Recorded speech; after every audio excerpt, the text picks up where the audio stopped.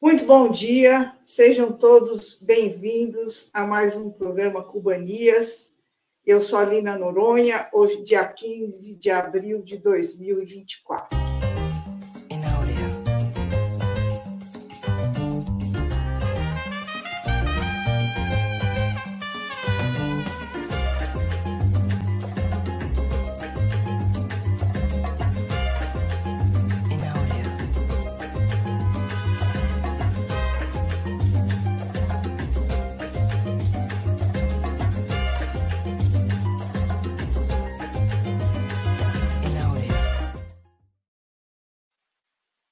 Sejam todos bem-vindos a mais um Cubanias. Já vou dando o bom dia aí para o Júlio Menezes, que já está aí no chat, já deixando informações para a gente, falando sobre, comentando sobre o, a guerra lá no Oriente Médio, o ataque do Irã a Israel, uh, comentando que chegou em Matanças o petroleiro russo essa semana com os barris de petróleo que que a Rússia enviou para Cuba, que com certeza vai ajudar muitíssimo a resolver a situação emergencial de falta de combustível que o pessoal está sofrendo lá no dia a dia.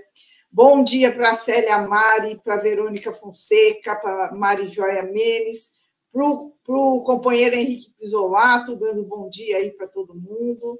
Até o Araújo, que eu, que eu encontrei lá em Havana, na casa da Isabel, onde eu conheci também o William, que é o convidado de hoje. Bom dia para o Beto Silva, que é quem nos presenteou com essa abertura lindíssima que a gente tem aqui, e está sempre aqui com a gente e apoiando. Bom dia para a Fernanda de Vitória, para o Arnaldo Ricardo, para o Salvio Cotter, Viviane de Castilho Moreira, o Ricardo Esbert, já pedindo fogo no imperialismo aí direto de Porto Alegre aqui na gente. Então vamos lá para começar o nosso programa de hoje. Antes de chamar o nosso convidado, eu vou colocar aqui um vídeo feito pelo deputado Maurici aqui em São Paulo, na Lesp, para apoiar a nossa campanha aí pela, pela coleta de assinaturas para pedir a retirada de Cuba dessa lista absurda de países apoiadores do terrorismo que tanto prejuízo causa a Cuba. Então vamos ver que é um, vídeo rapidinho aqui, gente. Há anos que os Estados Unidos têm tido uma política hostil a Cuba a intenção é isolar o povo cubano do resto do mundo por meio de um bloqueio econômico cruel e desumano. Durante a pandemia, os cubanos sofreram com a suspensão do turismo, grande fonte de renda para o país. E, além disso, o governo Trump colocou mais de 240 novas medidas, acirrando o bloqueio terrível que eles já sofrem há décadas. E, nos últimos momentos do governo Trump, ele ainda incluiu novamente Cuba na lista de países patrocinadores do terrorismo. Essa designação completamente hipócrita, imagine os Estados Unidos dizendo que algum outro país faz parte de uma lista de estados terroristas, mas o fato é, ela impede que os cubanos tenham acesso a financiamentos internacionais, dificulta as transações comerciais e torna a vida do povo cubano ainda mais difícil. Por isso que nós estamos levando essa campanha para coletar um milhão de assinaturas contra a inclusão de Cuba nessa lista espúria e contamos com todos para participarem dessa campanha Cuba Vive e Resiste, entrar no site e colocar seu nome em solidariedade ao povo cubano. Se você, como nós, é contra o bloqueio a Cuba e é a favor da retirada de Cuba da lista dos estados terroristas, clique no link abaixo e nos ajude a coletar esse um milhão de assinaturas e demonstrar ao tio Sam que nós somos solidários aos irmãos cubanos. Então, esse é o vídeo que eu vou jogar depois aí nas redes sociais, no WhatsApp, para quem quiser mandar, para pedir para os amigos assinarem essa lista que nós continuamos nessa campanha de coleta de assinaturas para serem enviadas lá ao governo dos Estados Unidos, para retirar Cuba dessa lista absurda que o Trump colocou de volta Cuba nela no, no últimos instantes do seu governo, não é? Antes de sair, ainda fez mais esse ataque a Cuba que tanto tem prejudicado e dificultado a vida do povo cubano. Então, vamos retomar essa campanha que ficou ofuscada pela questão emergencial da Palestina, que a gente teve que, que dar atenção de fato, não é? mas a campanha continua e vamos uh, continuar com essa busca de assinaturas para a gente atingir a meta de um milhão de assinaturas para serem enviadas. Gente, então vamos lá agora receber o nosso convidado aqui, que é uma pessoa que tem muito para contar para a gente hoje, o William Mendes de Oliveira. Vamos chamá-lo aqui e dar um bom dia. O William, seja muito bem-vindo ao programa Cubanias. Bom dia, todas e todos, todes.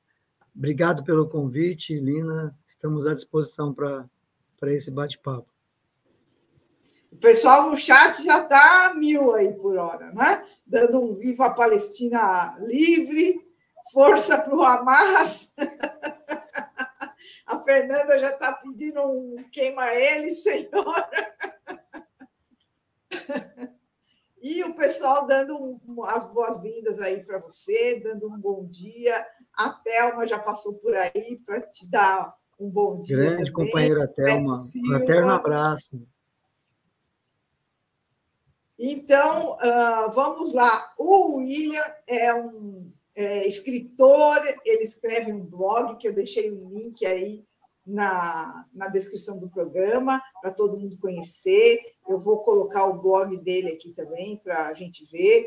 Ele uh, é formado em ciências contábeis e em letras, foi uh, diretor da, de saúde da Caixa de Assistência dos Funcionários do Banco do Brasil, dirigente sindical dos bancários, foi secretário de imprensa, uh, diretor do Sindicato dos Bancários de São Paulo, coordenou a comissão, comissão de empresa dos funcionários do Banco do Brasil e atualmente ele se dedica a escrever sobre cultura e política nesse blog chamado Refeitório Cultural. E eu vou colocar aqui o blog do William para a gente conhecer, e eu deixei o link aí, gente, para todo mundo acompanhar. William, então conta um pouquinho para a gente, antes de qualquer coisa, sobre esse seu trabalho no blog. É, esse trabalho no blog ele começou no, em meados dos anos 2000, 2006, 2005, 2006. Eu tive um primeiro blog que depois o provedor acabou tirando. E aí fui para esse blog, blogger atual que eu já está quase com duas décadas que eu escrevo no blog.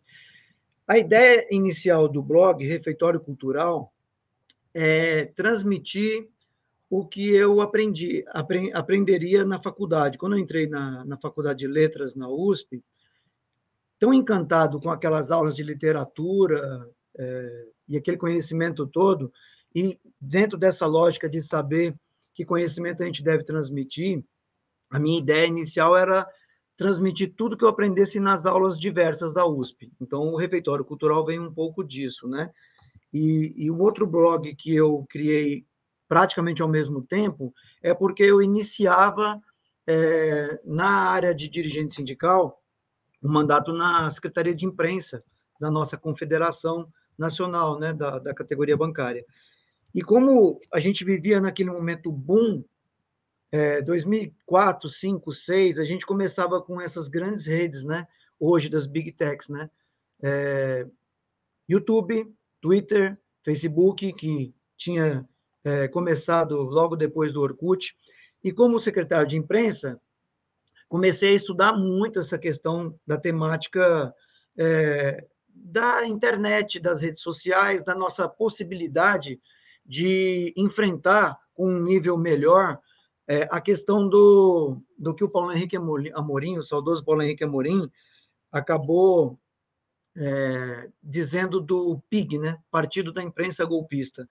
A gente vinha de uma concentração muito forte da grande imprensa no mundo ao longo do século XX todo, e o advento das, da, da, da, internet, das redes e tudo, era uma possibilidade da gente enfrentar um pouco essa informação que só vinha monolítica por parte né, de cinco ou seis canais abertos, por parte de quatro jornalões no Brasil, que eles definiam a pauta é, do que todo mundo ia falar e repercutir.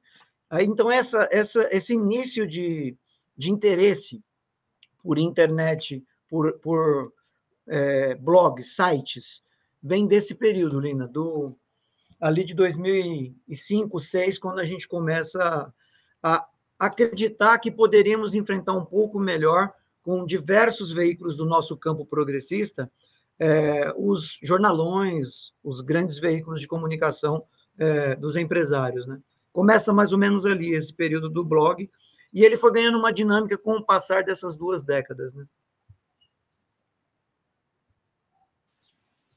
Entendi, William. Eu vou colocar aqui na tela o blog para o pessoal ver. E a gente tem que pensar nessa questão do trabalho que você faz no blog, uh, dentro desse tema que a gente trouxe aqui para a gente debater, para a gente conversar, que é essa guerra comunicacional que a gente vive aqui, né? E que a gente Sim. tem é, falado tanto disso uh, aqui no Brasil, pelas coisas que têm acontecido aqui nas redes sociais e, e esse ataque que a gente vive, né? na verdade, um, um ataque comunicacional que a gente tem que enfrentar o tempo todo aí, vindo da extrema-direita, das mídias hegemônicas, e até o próprio Putin, outro dia, comentou, quando, quando numa entrevista perguntaram para ele por que, que ele não enfrentava as fake news né, que circulavam tanto no Ocidente sobre a Rússia, sobre ele, e ele mesmo assumiu que ele não tem, não tem como enfrentar, porque há toda uma, uma estrutura já montada e a comunicação, os meios de comunicação no Ocidente são completamente controlados e dominados por essa mídia hegemônica, pelos Estados Unidos, né, pelo imperialismo, e isso é um fato, e ele disse que não valia nem a pena perder o tempo dele para tentar é, enfrentar essa narrativa no Ocidente, porque está tudo controlado. E a gente vive isso aqui no Brasil no dia a dia, é, constata isso né, o tempo todo. Basta a gente, a gente falar sobre a situação do, do país, do que a gente viu acontecer com com o governo Dilma, com o golpe de 2016, como foi importante a participação dos meios de comunicação naquela, na construção daquela, daquele golpe, como, como foi importante a, a atuação dessas mídias uh, no ataque ao presidente Lula, com, com, to, com a sua prisão e, to, e tudo mais que ele passou, que a gente viu que fez parte desse golpe também, e a gente constata também quando a gente fala de Cuba, porque notícias que a gente encontra sobre Cuba aqui são, como eu costumo falar toda semana aqui, no mínimo indecentes, porque o, o que a gente encontra de notícia de Cuba é 95%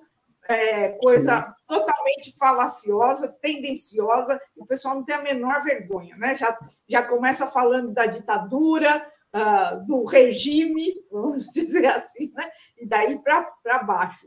Toda a notícia que a gente encontra de Cuba aqui. Você nunca encontra uma notícia falando alguma coisa positiva de Cuba. É raríssimo, é raríssimo. E quando encontra, em algum meio progressista, né, que não, não, faz parte dessa mídia hegemônica. Aí. Então, não é alguma coisa que tenha muito alcance. E, e a gente fica aqui fazendo esse trabalhinho, né, William? De formiguinha, mas sabe que é uma, uma luta inglória e que a gente não tem a menor chance de, de uhum. peitar essa mídia hegemônica, não é? Olina, você sabe que uma frase que acho que você falou uma frase muito interessante, que é essa assim, o nosso trabalho de formiguinho, né? É, que é uma coisa muito bonita, porque quem faz militância, militância social em, em qualquer área, né? Partidária no campo da esquerda, sindical, de, de sem teto, sem terra, esse tipo de coisa, na, nos estudantes. É uma frase muito, muito antiga a nossa, né? Fazer um trabalho de formiguinha, mas assim, é, de certa forma, o mundo mudou e mudou muito rápido quando você pensa os últimos 20 anos com o domínio dessa fase atual da, dos meios de comunicação. Então, quando a gente, por exemplo, você citou a questão do, do Putin, né? Essa, essa frase que ele falou, ah, não dá nem para enfrentar, então, etc.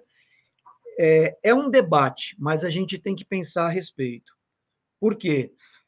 É, como funciona o ser humano, de certa forma? Quando você pega alguns estudiosos que falam sobre o comportamento humano, nós somos todos paixões.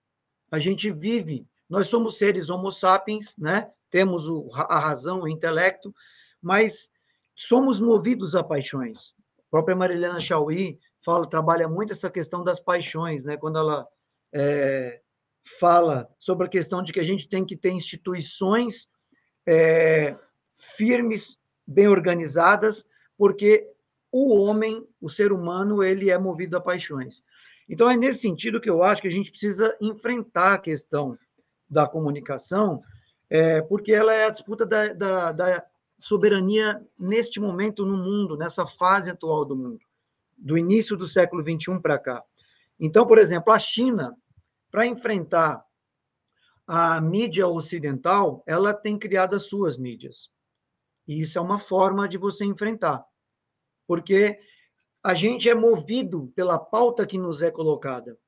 Por exemplo, para falar no que está acontecendo nessas semanas no Brasil, a questão do Elon Musk. Tem um método por trás de você tirar de, de, de cena é, a questão da prisão daquele clã, do líder do clã, do Bolsonaro, e mais a questão do 8 de janeiro. Simplesmente aquele bilionário, dono de uma das redes sociais, ele mudou a pauta. Ele mudou a pauta. E é assim que o mundo funciona.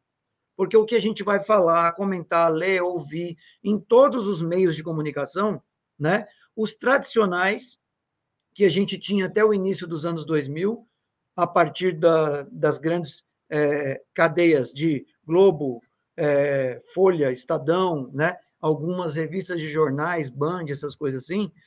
E hoje você tem essa rede das Big Techs, que elas vêm aqui, ó, no aparelho da gente. Então a gente não sabe o que as pessoas recebem.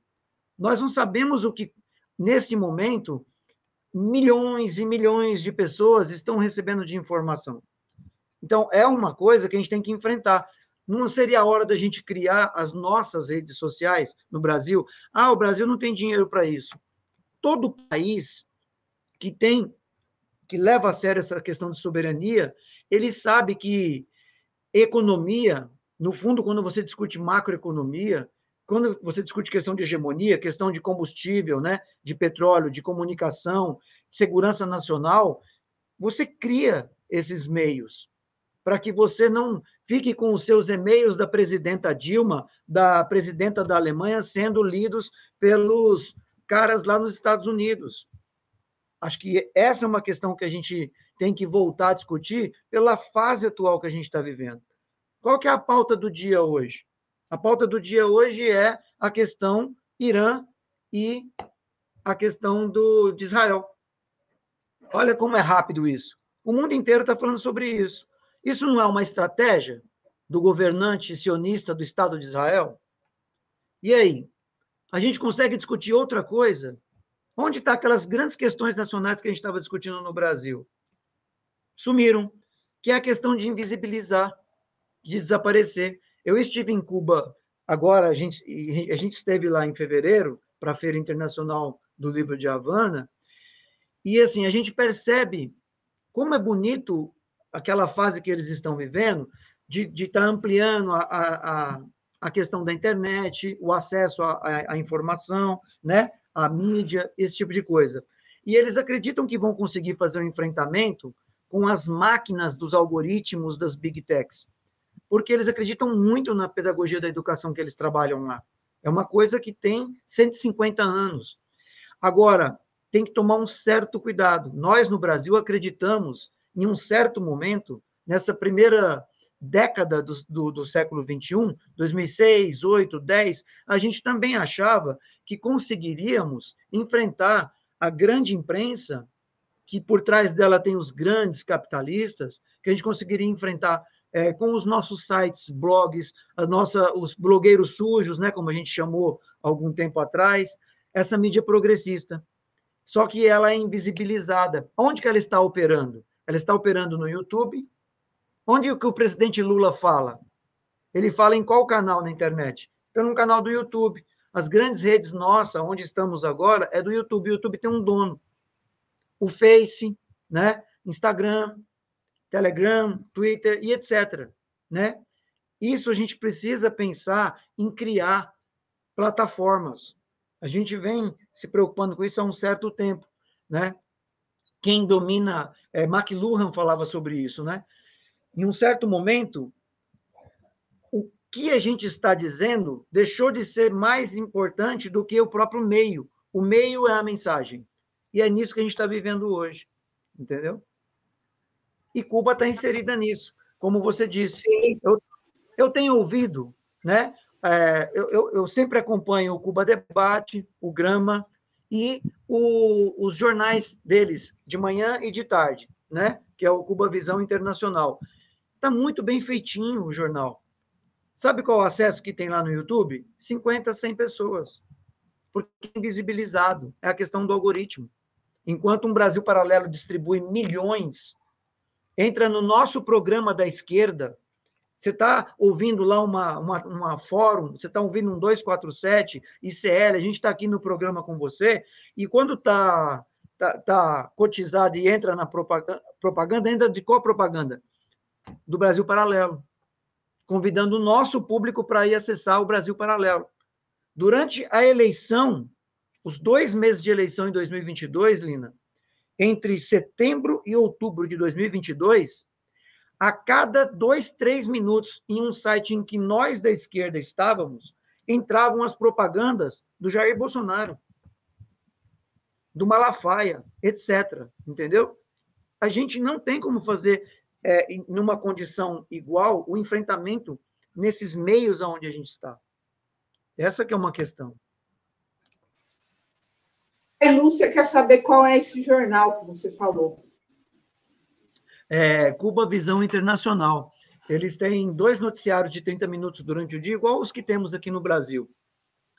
Formato está bem feito, muito bonito, está leve, sabe? Aí dá as notícias, agenda do que o presidente Dias Canel tem feito, é, as questões internacionais, onde Cuba, com, com quem Cuba teve contato dos seus parceiros internacionais. São jornais muito gostosos de ver. Só que o acesso é desse tamanhozinho, porque o meio, o meio qual é o meio? São esses meios que são as big techs, entendeu? E existe um processo de invisibilização. Isso aconteceu tem uns oito, nove anos, Lina. Quando os algoritmos entraram pesado, eles reduziram o alcance de todos os sites progressistas do mundo, inclusive o principal canal de esquerda nos Estados Unidos, os nossos grandes canais, né? A redução foi de mais de 90%. 90%. Então, quem tinha um milhão de acessos, né, passou a ter 10 mil, 50 mil, 100 mil acessos no período analisado, entendeu? Os algoritmos, eles matam a possibilidade da gente ter um alcance que poderíamos ter pela qualidade que a esquerda trabalha também nos seus bons programas. Né? Isso a gente tem que fazer a discussão. E talvez pensarmos nos nossos canais. México, Brasil, todos os grandes. A Rússia, onde o Putin fala: não vou nem enfrentar as big techs. Crie suas próprias big techs. Deixe disponível para as pessoas do seu país, né? para os grandes jornais do campo progressista. Que é uma discussão que agora vem nos últimos. Eu venho, tenho visto os debates no último mês. A gente vai fazer modelo China ou não vai fazer modelo China, né? Porque no modelo China, ela proíbe outras plataformas. Ou a questão é, a gente pode criar as nossas plataformas e ver se a gente consegue ter um espaço, por exemplo, para todos os, os parlamentares do PT, do PCdoB, dos grandes partidos é, do campo progressista, é, fazerem as suas comunicações diárias, ao invés de postar no Twitter, não quer dizer que por isso a gente tem que inviabilizar o Twitter, que é um debate né, que tem muita estratégia sobre isso, quem está debatendo. Bloqueia ou não bloqueia? Se bloquear, faz o que eles o querem. O Júlio Menezes colocou aí. Júlio Menezes colocou aí o nome do canal do YouTube, Cuba Visão Internacional, para responder aí a Glai Lúcia. Eu coloquei aí na tela o teu, a página do teu blog para o pessoal conhecer, dar uma olhada aí, entrar lá. O link está aí na descrição do programa, para quem quiser conhecer os textos do William aí no blog. Então, fica essa dica aí. O hum. Felipe Acorce está é, é, sugerindo um livro chamado A Era da Censura das Massas. A Era da Censura das Massas, não li ainda. Eu não conheço também, não. A gente tem tido, é, é, Felipe, é, é muito legal que na última década, nos últimos 15 anos, como muita, muita gente interessante tem se debruçado sobre essa questão é, da grande mídia, dos meios, da questão de quem faz a pauta e tudo, tem surgido excelentes trabalhos com relação a, ao tema que tem dominado o mundo, né? que é uma questão de hegemonia. Se eu não consigo emplacar uma ideia, é, o pós-verdade é um conceito que trabalha muito isso, né? Quem consegue estabelecer, pelo, por ter mais capacidade, uma, uma opinião ou um tema sendo verdade ou não, ele se transforma na pós-verdade. Se a gente olhar lá 80 anos atrás, na época do nazismo, a gente vai entender aquele negócio que diga uma mentira mil vezes, que ela se tornará uma verdade. Então, se você, é, é a questão da pós-verdade.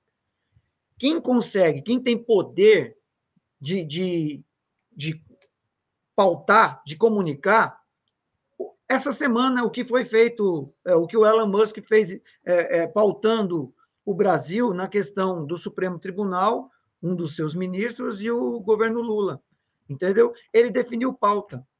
Isso é muito antigo. E a gente tem que se debruçar em cima disso, entendeu? Quem define a pauta define a agenda. Eu até me lembro, é, teve uma época que, eu, na época do, do golpe contra a presidenta Dilma, eu acho que eu nunca escrevi tanto na minha vida como o ano de 2016, porque eu tinha uma longa agenda como dirigente de uma autogestão em saúde e eu passei aquele ano sem dormir, porque além da agenda do dia a dia, representando os trabalhadores numa disputa de, de saúde do trabalhador, eu ainda estava vivendo lá em Brasília aquela questão da construção do golpe contra a presidenta Dilma Rousseff, né? E aí eu, eu, eu, li, eu, eu lia muito e fazia muita citação nos meus textos do 1984, do George Orwell, né? E você imagina, desde das tais primaveras, que também tem muito essa questão de você dar uma cara de liberdade em, em certos países, mas com o objetivo de é, desestruturar governos e causar é, rupturas institucionais em países, você chega com uma cara de liberdade e você desorganiza uma sociedade. E é isso que vem acontecendo desde os últimos 15 anos, pelo menos ali, de 2010, 11 para frente, né? E a gente viu isso acontecendo no Brasil em 2016. Você imagina a questão, o, o 1984, ele, ele tem um, um instante que ele fala dos dois minutos de ódio. Quem já leu ou já viu o filme, né? baseado no livro 1984, deve se lembrar daqueles dois minutos de ódio. O que são as redes das big techs hoje? São 24 horas de ódio, porque o algoritmo ele distribui ódio e ele não distribui informações que falem é, de solidariedade, de amor, de, de coisas boas. Isso aí não tem muita aceitação na própria rede. Tem estudos que falam que são seis, sete vezes mais rápido uma, uma desinformação ou uma informação de ódio, né, do que uma informação é, como um programa desse, falando sobre soberania, sobre um mundo é, alternativo ao mundo capitalista, etc. Né? William, o Luiz vai me freando, Lina, vai me freando, porque esse sindicalista fala muito. o Luiz Henrique está lembrando a gente aqui do papel do Twitter em algumas revoluções coloridas. E a gente Exatamente. pode lembrar, inclusive, no caso de Cuba, naquele 11J, aquele movimento todo Isso. que a gente teve lá aquela tentativa né, de fomentar uma, uma rebelião ali, uh, teve essa, esse ataque com o apoio das redes sociais e do Twitter. E a gente está vendo agora em Cuba uh, essa questão da internet, com essa questão das redes sociais, como que a propaganda da, dos contra-revolucionários de Miami consegue entrar em Cuba e muita gente lá escuta isso e muita gente cai nessa conversa. A gente viu em Cuba que o, o, o governo faz, tem, tem programas na TV, inclusive, para uh, combater essa enxurrada de fake news, que também chega lá, que também afeta Cuba de uma maneira muito séria. Não é só aqui, não. Cuba não está imune a esses ataques. Nunca esteve. E, a, e, tem internet, porque tem essa ilusão aí também, que tem gente que acha que Cuba não tem internet. Tem internet. E isso chega lá. Então, esse ataque se dá muito via internet, agora, principalmente na, nas gerações mais novas, não é? Porque a juventude, a moçada que tem mais acesso a essas redes sociais e que se influencia por esses ataques que chegam por aí, por essas fake news, essa, esse, essas mentiras mesmo que são difundidas com muito dinheiro. Inclusive, eu queria colocar aqui, aproveitar que a gente chegou nesse assunto, para colocar aqui é, a, a denúncia que chegou uh, essa semana pelo Rações de Cuba, né? o, o site de, de informações, de notícias, e que a gente uh, tomou conhecimento pela, pela tradução da notícia pela Carmen, e saiu em outras páginas aí já. Uh, falando sobre a Carmen Diniz, do Comitê Carioca, né? falando sobre como é que uh, os Estados Unidos está investindo dinheiro, um dinheiro pesado, mais de 68 mil dólares, na, nessa informação contra-revolucionária, uh, para colocar a internet em Cuba livre, né, os cubanos, eles dizem, né? porque eles estão querendo promover de novo, aproveitar a dificuldade econômica, a forte crise que Cuba vai passando agora, muito, principalmente por causa do bloqueio, do acirramento do bloqueio depois do governo Trump, que o Biden não mudou um milímetro sequer, é? uh, somado a todas as dificuldades da situação econômica do mundo pós-pandemia, que para Cuba é muito mais difícil de enfrentar, porque eles têm que fazer tudo embaixo de um bloqueio que estrangula a economia cubana o tempo todo, e ainda mais com essa inclusão na lista de países terroristas. Cuba não pode usar sistema bancário, Cuba não consegue fazer comércio é, com nenhum país. Né? E quem manda alguma coisa para Cuba recebe sanção e multas pesadíssimas dos Estados Unidos. Agora eles estão querendo punir, inclusive, país que recebe médico cubano. Olha isso, como eles sabem que, que Cuba também consegue ganhar algum dinheiro com esses médicos que envia para muitos países, né? Ah, para promover essa assistência na área de saúde. Não é só médico, é toda uma equipe da área de saúde, de, de várias, com, com várias atividades aí, não é, não é só o médico. E agora eles querem uh, colocar sanções para quem recebe também esses médicos. Olha, eles, eles tentam estrangular Cuba por todo lado economicamente. Então, a dificuldade econômica que a gente vê lá, de fato, é muito grande. A gente viu agora, né, que a gente acabou de voltar, que está uhum. muito difícil a coisa lá. E essa, essa, esse ataque é feito por várias frentes. Então, ao mesmo tempo que eles mantêm essa guerra econômica, que é uma situação de guerra que Cuba vive, né? que causa mortes, inclusive, eles também fazem esse ataque pelas redes sociais. Então, essa guerra também é comunicacional em Cuba.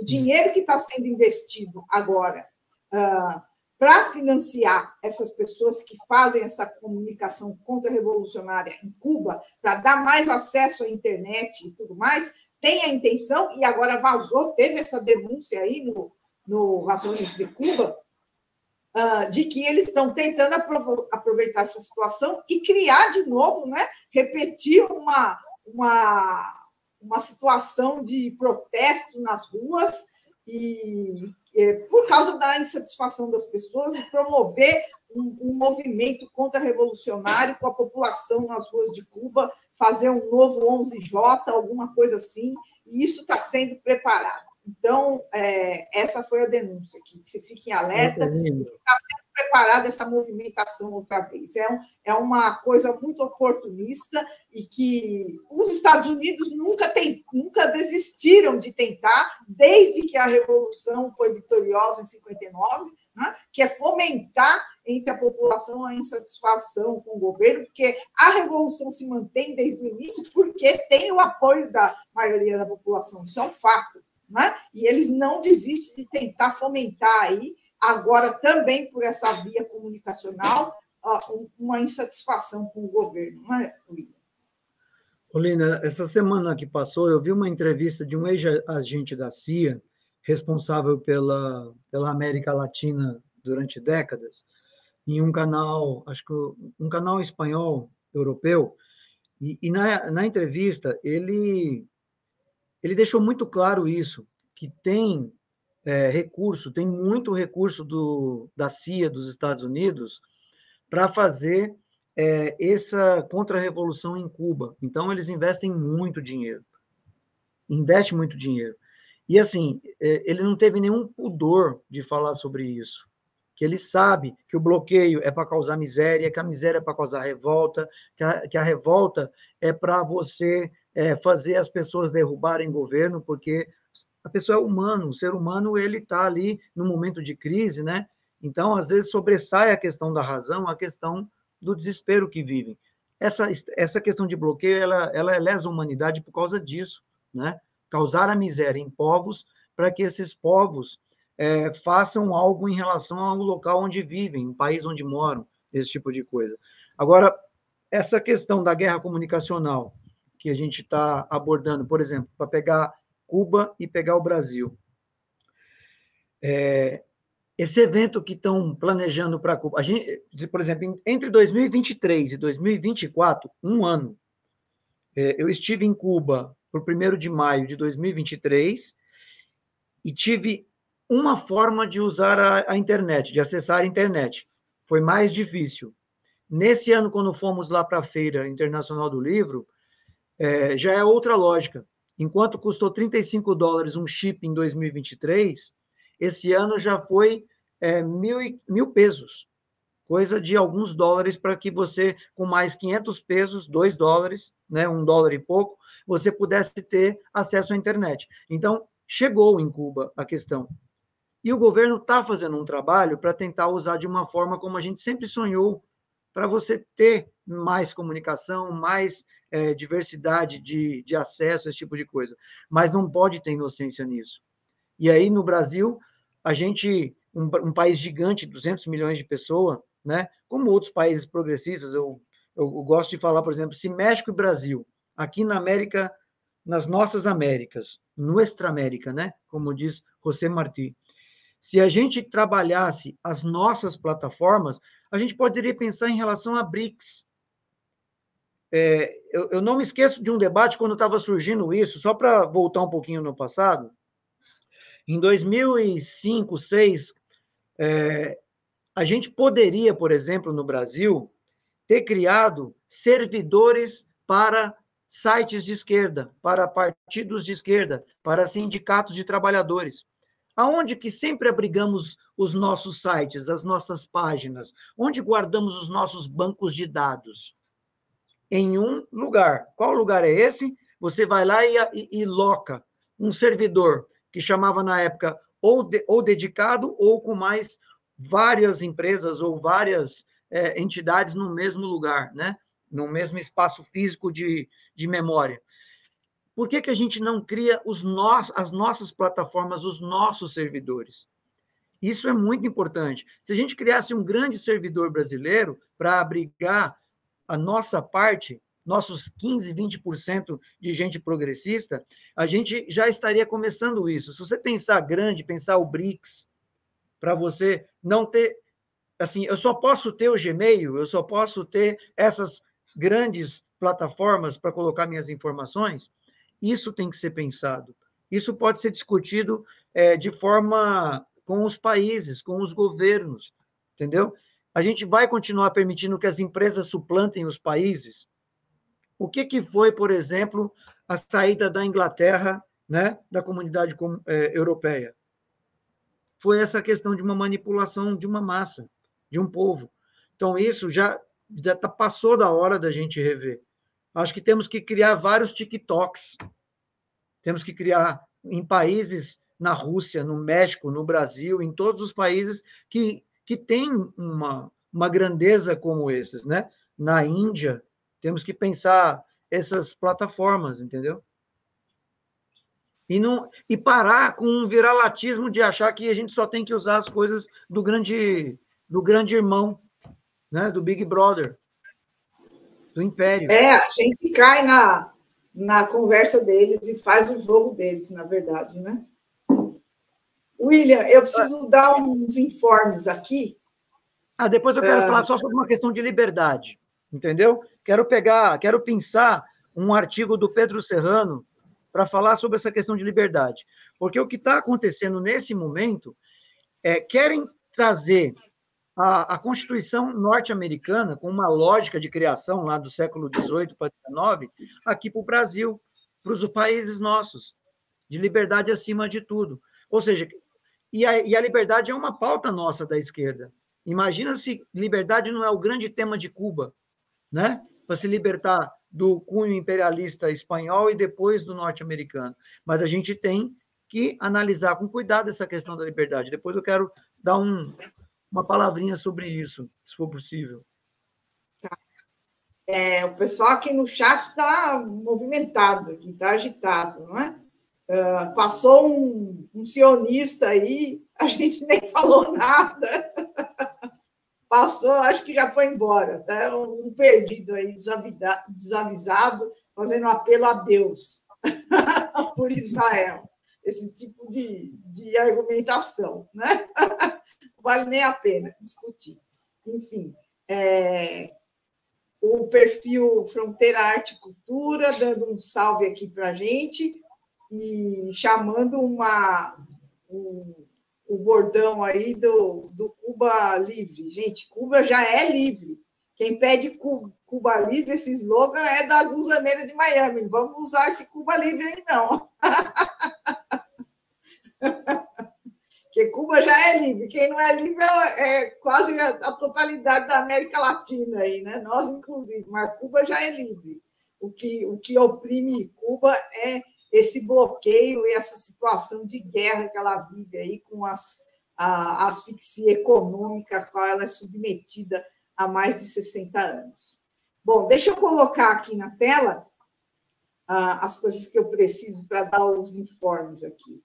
Primeiro, lembrar o pessoal aí, quem ainda não conhece, o livro da, da Márcia Schueri, que a gente já falou dele aqui, ela já veio aqui no programa falar, que é um lançamento aí da editora Cotter, o Direto de Cuba, em que ela conta a experiência dela vivendo em Havana durante a pandemia, e ela traz muita informação, não só sobre o enfrentamento da pandemia, do Covid, a gente vê o contraste né? com o livro da Márcia, a gente vê o contraste com a situação que a gente vivia aqui no Brasil, que era o avesso disso que, que se vivia lá a, população em Havana vivia, né, no enfrentamento da pandemia, mas ela também traz muita informação sobre Cuba, sobre a história de Cuba, sobre a Cuba dentro do contexto internacional. Então, é um livro muito bacana.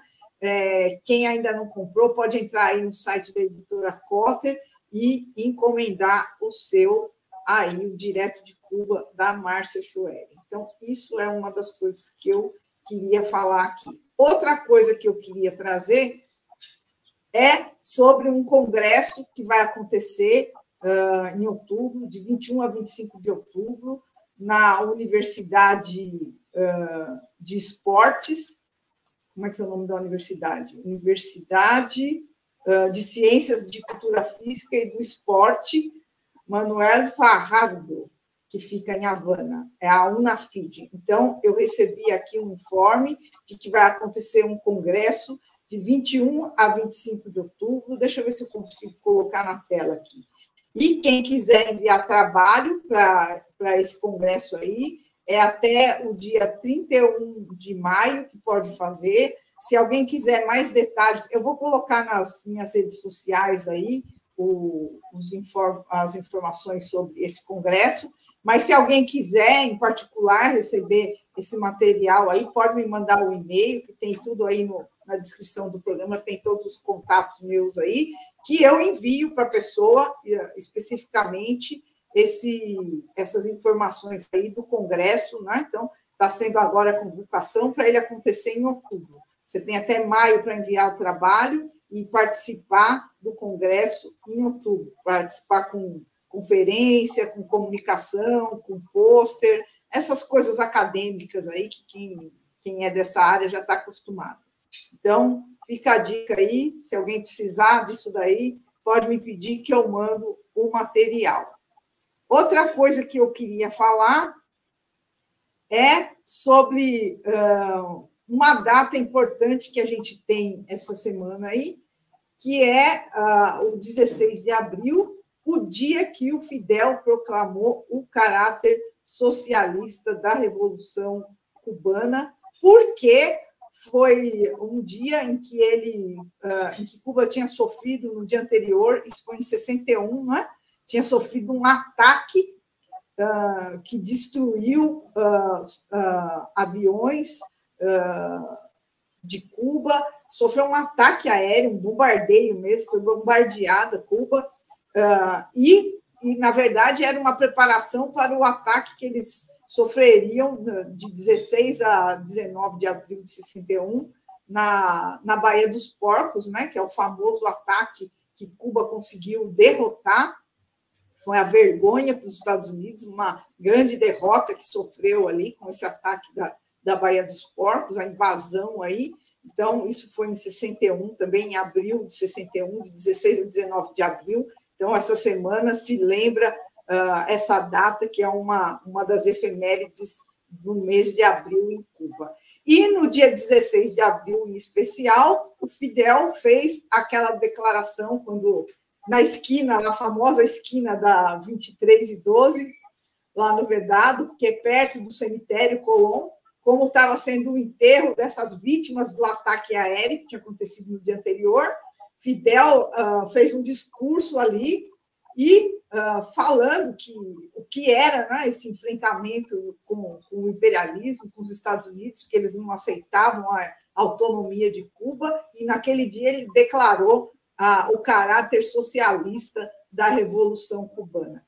Deixa eu colocar aqui um, um trechinho disso aí para a gente ver um pouquinho, William, que é uma coisa, uma data uhum. muito importante que vale a pena a gente lembrar aqui. Ver se vai dar para ouvir aí. Que o som é ruim, que é um vídeo antigo mesmo, né? Que no pueden perdonarnos los imperialistas. Es que estemos aquí y que hayamos hecho una revolución socialista en las propias narices de los Estados Unidos. Y que esa revolución socialista la defendemos con esos fusiles.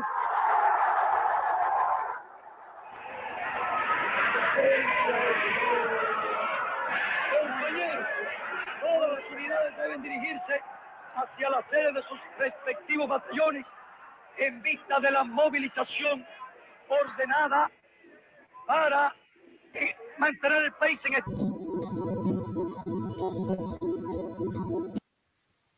Só esse trechinho aí do discurso do Fidel, em que ele fala mesmo, né, que eles não aceitam que fizeram uma, uma é revolução é socialista no nariz deles, né? e que eles iam defender a todo Fidel é mundo. É muito emocionante. É, é uma muito sabedoria legal, que ele carrega. Uma última coisa que eu, vou, eu preciso colocar aqui, William, é que a gente teve uma notícia importante também essa semana, que foi sobre o pedido que foi encaminhado oficialmente ao governo dos Estados Unidos, que até a Carmen colocou lá no, no site do, do Comitê Carioca também. Então, quem quiser ler mais detalhes, pode entrar lá no site e, e olhar. Né? Então, ler o texto com calma, está aí, para o pessoal ver. Isso aí está no, no, site do, do Comitê Carioca de Solidariedade a Cuba. Se você escrever isso no Google, você já acha. Então, ela está mostrando aí nesse texto, ela está contando para a gente que uh, foi encaminhado um pedido com centenas de assinaturas de 200 uh, democratas cubano-americanos e mais, 70 de, uh, mais centenas de assinaturas de estadunidenses pedindo né, ao Biden para uh, mudar sua política em relação a Cuba, que foi uma promessa de campanha dele. E ele entrou no governo e vai terminar o mandato dele e ele não moveu uma linha de todas as medidas que o Trump colocou para atacar Cuba, né? O acirramento do bloqueio, a inclusão de Cuba na lista de países apoiadores do terrorismo. Então, eles entraram com esse pedido aí é, de uma nova política de compromisso com a ilha. É isso que eles pedem, né? que o Biden faça. Ou então ele vai continuar com a mesma política fracassada na maior parte dos últimos 60 anos, que é assim que eles veem. Né? E eles colocam que esse é o desejo, uh, da, na verdade, da grande maioria dos cidadãos estadunidenses e do mundo, na verdade, que tem essa mudança de política em relação a Cuba. Então, isso foi uma, um acontecimento importante que a gente teve aí essa semana. Né? A gente tem mais é que pressionar. E essa lista que a gente está passando aí para coletar assinaturas também tem essa intenção de ser mais uma forma de pressão para cima do governo dos Estados Unidos, para que mude essa atitude em relação a Cuba, né? como o Obama minimamente começou a fazer e depois foi tudo para trás com essa desgraça aí desse Trump. Enfim, era isso que eu precisava trazer aqui, William. Então, eu passo para você continuar aí o comentário que você queria falar agora. Lina, é, aproveitando um pouco dessas questões que você está trazendo, eu, além dessa questão da, da liberdade, que eu acho que é importante a gente falar, é, fala primeiro da, da, da liberdade. Pedro Serrano, dias atrás, publicou um artigo que me deixou pensando muito a respeito. Depois eu escrevi é, um texto a partir daquela, daquela questão, porque às vezes a gente não, não se apercebe de muitas coisas até que alguém fale. Quando alguém fala, você passa a ter aquilo muito claro, né? Então, o que acontece? O, o Pedro Serrano, o professor e jurista Pedro Serrano, ele falou o seguinte: direito não é natural. Direito não é algo da natureza, não é uma lei natural de física, como a gravidade. Direito é uma criação humana. Enquanto criação humana, se ele não for defendido, ele deixa de ser, de existir. E isso é muito profundo para a gente pensar. Quando a gente pensa, por exemplo, a liberdade, liberdade do ser humano, dos homens e das mulheres, né? De nós humanos. A gente, ao longo de milhares de anos, fomos constituindo a sociedade humana e fomos estabelecendo, né, acordos entre nós humanos para que a gente pudesse conviver em sociedade. E quando a gente fala, por exemplo, de um, de um tema regular, a mídia, nos últimos 20 anos, ela é regulada na Europa, etc. E no Brasil não pode regular. Por que não poderia regular? É uma discussão que trabalha com essa questão do direito. E os grandes veículos, os donos de quem pauta, de quem tem o poder da pós-verdade, que é ele que define o que as pessoas vão ler, ouvir, pensar e o que elas não vão ver, que é a invisibilização, isso não pode continuar assim. Porque desta forma como caminhamos, essa, essa defesa que essas big techs fazem de não ter que ter limite nenhum, não tem que seguir sequer a lei como a Constituição brasileira, né, vai nos levar aonde? A um estado natural, um estado de natureza. Se a gente voltar a um estado de natureza, a gente pode fazer o que quiser com o próximo. Por quê? Porque não tem lei. Isso é uma coisa básica que a gente não para para pensar. Então, a comunicação é um direito humano. E para ser um direito humano, ela tem que estar acessível a todos nós. E para isso que eu acho que é importante a gente tirar um pouco dessa discussão de que não se deve mexer na liberdade plena, porque isso é um faz de conta, isso é uma mentira, né? Você não está conseguindo comunicar de forma legítima em países com as pessoas, entre as pessoas, por causa da Big Tech, porque ela define o que nós vamos poder comunicar. Isso tem que ser pensado. Quando a gente pensa o Brasil em, em termos de comunicação, quando a gente pensa Cuba, porque tem dinheiro por trás, tem os meios que definem quem vai falar ou quem vai invisibilizar, entendeu? E isso não pode continuar assim. No nosso campo da esquerda, a gente tem que estar atento a isso para fazer essas discussões. Por exemplo, aí eu volto nessa ideia de que a gente tem que. É uma questão de soberania. A gente criar os nossos meios, as nossas plataformas. O que que impede? Porque vão dizer que é a questão econômica, né? Que o governo está engessado e não pode fazer nada. O que impede o Brasil de criar uma, uma Brasil Book? Para que as pessoas tenham alternativa à, à meta do Zuckerberg. O que impede a gente criar uma plataforma, um Brasil Book? Em que, inclusive, a gente saiba melhor como o algoritmo vai funcionar, porque vai ter é, um acompanhamento nosso, né, de instituições nossas democráticas, para saber como o algoritmo opera. O que impede a gente de criar um Brasil Tube? Um Brasil Tube, para que todo o campo progressista possa dar suas declarações em relação ao que está acontecendo. Porque quando você publica no YouTube, se o algoritmo estiver atuando, você não vai ver aquilo. Mil pessoas vão ver, enquanto milhões veem o que o lado que interessa ao, à plataforma é, divulga ou de ódio, ou de contra-informação, de mentira, entendeu? O que impede a gente ter, é, no lugar do X, do antigo Twitter, né, uma plataforma para que as pessoas brasileiras, os nossos parlamentares do PT, PCdoB, PSB, né, de todos os partidos progressistas, possam é, dar os seus informes diários como funciona, porque é uma plataforma importante. Agora, ela tem que estar hegemonizada por uma pessoa, um bilionário, isso não é possível porque isso não é democrático. É isso que a gente tem que pensar com relação à liberdade. Liberdade pode tudo. Eu posso fazer tudo o que eu quiser, né? Se eu tiver com fome, eu posso comer a perna de alguém? Não posso. A gente já passou desse estágio na questão da constituição da sociedade humana. E isso tem que ser dito. A gente tem deixado a extrema direita com esses veículos que são deles manipularem os conceitos clássicos da esquerda, do humanismo, entendeu? Isso é muito preocupante. É isso aí, William, você tem toda a razão. É muito preocupante mesmo. O pessoal está comentando aqui sobre essa questão da, da, dos meios de comunicação. Olha, a Marijóia Mendes colocou que o que se fala no Brasil é sobre as concessões, o que, o que não se fala no Brasil é sobre as concessões de TV e rádio que abusam do poder e mentem a ponto de levar um presidente de esquerda à cadeia. É isso que a é gente É tudo propriedade cruzada, Lina. Quando você estuda as comunicações no Brasil, você vai ver que há um século, né, elas são de pouquíssimos donos. Então, assim, como está organizado o Brasil? E como é que você fura essa bolha? Né? Você tem 26 estados e o Distrito Federal.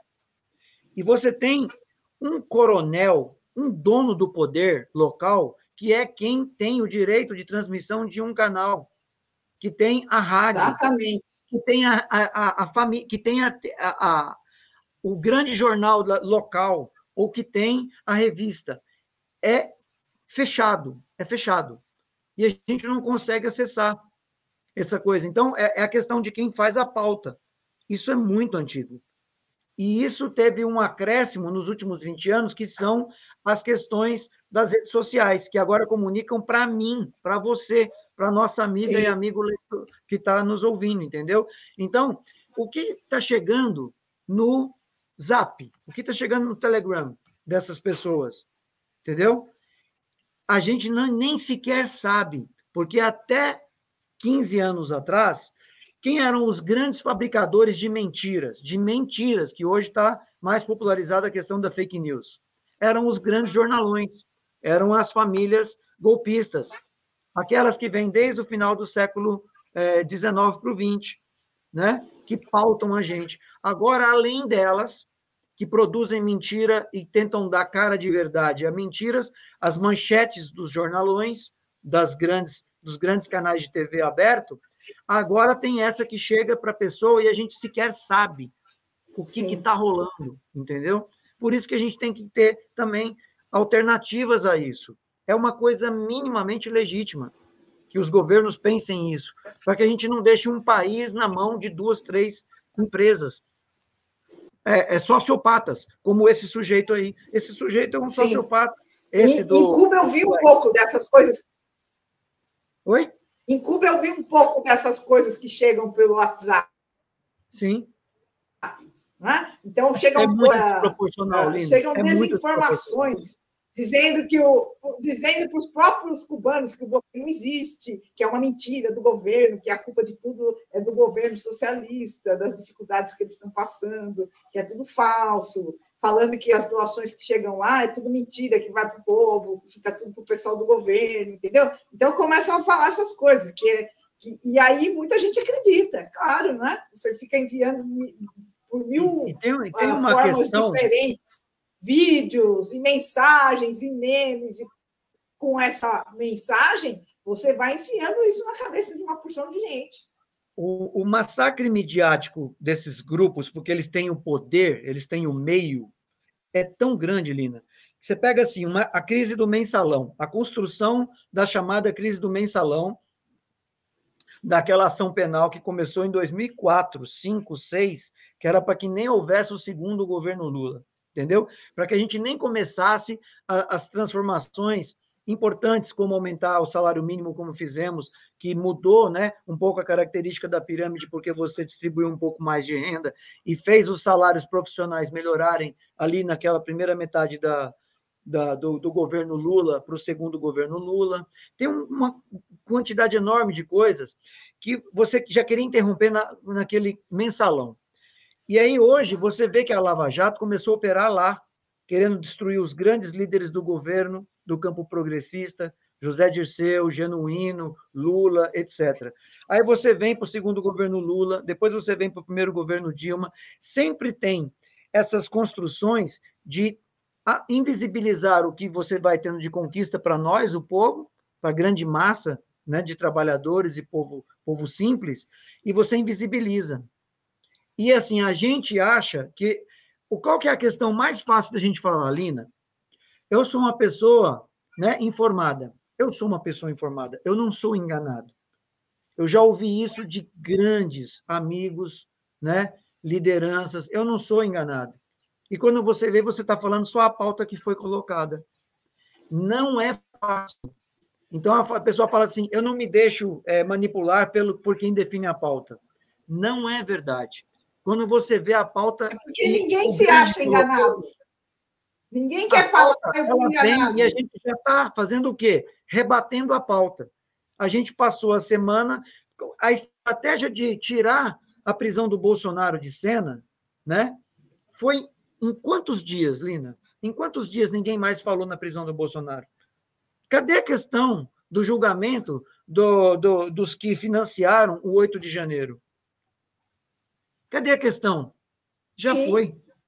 Já foi. Então, mesmo a gente do nosso campo acha que não é manipulado, mas é muito forte isso. A pauta já foi dada e a gente já está falando. Qualquer veículo Sim. que você acesse ao acordar já diz o que, que você vai falar durante o dia. É mais forte do que a gente. Por isso que você Sim, tem que atacar a questão do meio, entendeu? Nós não estamos aqui pautando a guerra comunicacional? Exatamente. Ela faz, ela faz. E aí, para lembrar alguns grandes pensadores, né, a questão dos dois minutos de ódio, ou a questão do Victor Kempler, que é um filólogo, um filólogo que acompanhou a mudança da linguagem alemã durante o nazismo, entre a ascensão do Hitler em 33 e a queda do nazismo em 45. O Victor Kempler deixou para nós o livro LTI, a linguagem do Terceiro Reich porque ele fala um pouco de como atuava essa questão da linguagem, porque se você envenena a linguagem, Pulitzer fala sobre isso também, para o pessoal da área do jornalismo e da comunicação, né? Se uma imprensa tem uma linguagem e um, e um tratamento canalha, vil, ela transforma o seu público leitor também em um público que vai ter esse viés. Pulitzer falava isso. Kempler falou: nós temos que desnazificar a linguagem alemã depois de 45. A gente hoje está vivendo exatamente isso nesse período das big techs dos últimos 12, 15 anos. Né? A linguagem que prevalece é a do ódio, é a do diferente de mim, não quero saber. E aí você faz política como assim? Como que a gente pensa o pacifismo? Quantas pessoas estão falando em pacifismo além de Luiz Inácio Lula da Silva, presidente de um dos maiores países do mundo? Quantas pessoas estão falando de pacifismo? De alimentar o povo, de cuidar da natureza, né? E pensar outras formas de sustentabilidade. Quantas pessoas? Que foi o discurso do Lula na ONU. Não tem espaço, entendeu, Lina? E, e amigos e amigas né, que estão nos ouvindo é muito difícil enfrentar isso, mas a gente tem que criar nossos meios para você fazer esse embate. Porque nos meios que já são desses big, big bilionários, a gente é invisibilizado, desaparece. O Lula faz uma fala extraordinária e tem 5 mil acessos. Enquanto qualquer cara, para falar qualquer bobagem, né, da extrema-direita, tem milhões. Não é porque aquele cara fala melhor do que uma pessoa do nosso campo. Quantas pessoas veem os discursos do Dia Canel para a gente pensar em relação a Cuba, nos meios que Cuba tem hoje de comunicação, que são esses, das big techs? São invisibilizados. É, é só para colocar essa questão, essas noções, quando a gente fala em guerra comunicacional, entendeu? Temos que pensar grande. Quem são as pessoas que pensaram grande? Vamos pensar José Martí, Fidel Castro, para a gente pensar nossa querida Cuba e o povo cubano. Esses pensaram grande. Olhe os discursos do Fidel Castro falando sobre meio ambiente em 92, dizendo o que, que ia acontecer 32 anos atrás. Ele já falando sobre a questão da emergência climática. Entendeu? Agora, se você não tiver um meio para fazer isso, o conteúdo fica invisibilizado, entendeu? São coisas para a gente pensar no nosso campo progressista. William, uh, antes da gente terminar, eu quero colocar aqui um último videozinho que, que eu publiquei essa semana aí na, nas minhas redes sociais, que é justamente uma fala do, do Rafael Correia, falando sobre essa questão da mídia, da, da bandidagem aí, que é essa, essa mídia na América Latina e o estrago que ela faz. Deixa eu colocar Sim. aqui, é bem curtinho. Não sei se você chegou a receber isso daí, mas eu postei várias vezes essa semana Deixa eu colocar aqui. Ah Macri perdió contra el grupo de Clarín. Claro. Y tengamos claro, latinoamericanos, más temprano que tarde tenemos que enfrentar esto. O no tendremos democracia ni tampoco desarrollo. Con la mafia mediática que tiene América Latina, jamás tendremos verdaderas democracias. Porque para que exista democracia debe haber información, para que tengas un voto informado. Y lo que tenemos es manipulación mientras no controlemos las mafias mediáticas legítimamente, porque son el poder sin contrapoder, pues. Una democracia, ahora poderes. ¿Cuál es el contrapoder de la prensa?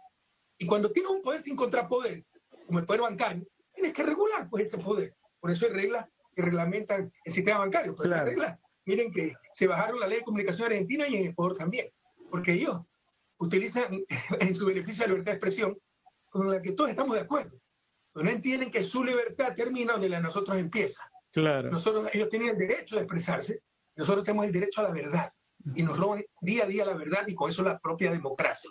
Mientras no resolvamos el problema mediático, la cuestión mediática en América Latina, por ejemplo, estableciendo el derecho a la verdad como un derecho humano, poniéndolo como principio constitucional, que nadie me puede engañar, que nadie me pueda hacer creer que Nicolás es un, un maleante, cuando no es verdad, porque está atentando a mi derecho de conocer la verdad, mientras no resolvamos la cuestión mediática, no tendremos verdadera democracia. Scioli no perdió contra Macri, perdió contra el grupo El Clarín. Que... Ele deixa bem claro isso aí, não é? Perfeito, isso, perfeito.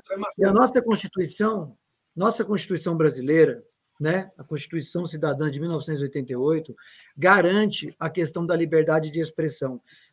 O que que esses grandes impérios e imperialistas e capitalistas fazem? Eles desvirtuam a questão da liberdade de expressão, a nossa legítima liberdade de expressão e direito à informação, né? Uma liberdade, eles querem a liberdade de expressão para esses grupos e a invisibilização e a nossa não capacidade de liberdade de expressão. É uma coisa que precisa ser trabalhada, entendeu? Senão, não haverá mais democracia desse jeito.